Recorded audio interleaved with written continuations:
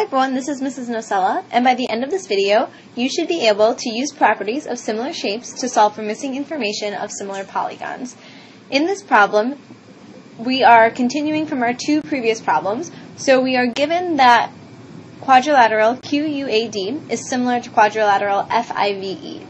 And in this problem, we are asked to calculate the lengths of x, y, and z. Let's go ahead and start with x. So in order to solve for missing parts of similar polygons, what we want to do is set up proportions that use the corresponding parts of these polygons. So if we're trying to solve for x, well, x corresponds with 8 in quadrilateral QUAD. So we have x over 8 is equal to, what we want to set it equal to is another pair of corresponding parts that we know.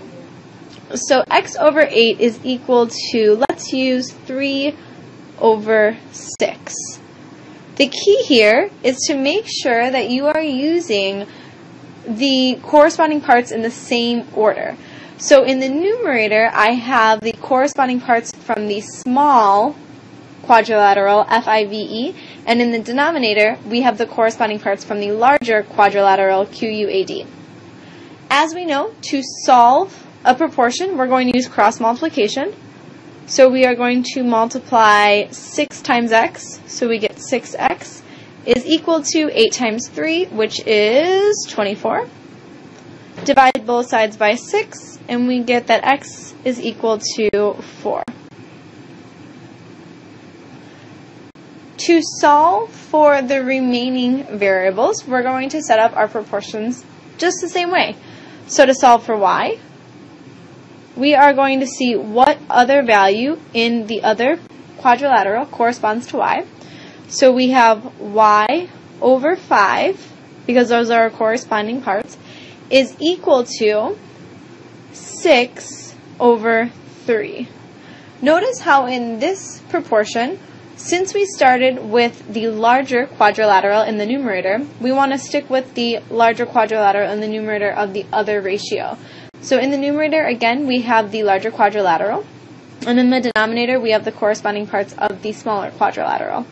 So to solve this, we're going to go ahead and cross multiply. y times 3 and 6 times 5. So we get 3y is equal to 30. Divide both sides by 3. So y is equal to 10. Last but not least, we have z. So if we look at z, z corresponds with 9 in the other quadrilateral.